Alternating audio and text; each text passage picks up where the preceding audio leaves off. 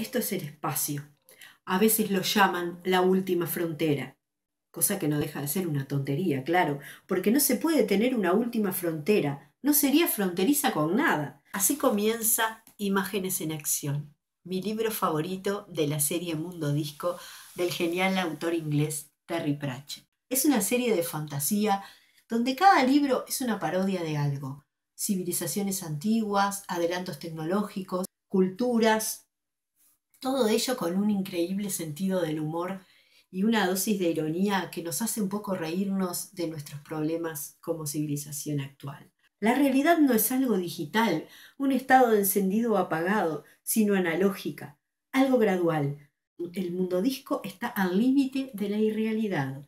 Solo tiene la dosis justa para existir y eso por los pelos, que están divididos en sagas de acuerdo a los personajes principales de cada grupo de libros.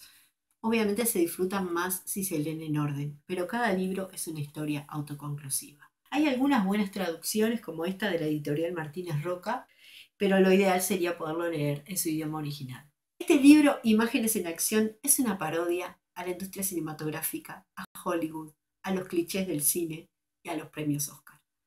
Una joya que nos va a hacer llorar de risa. Soy Rosana Perrone del Instituto Clemente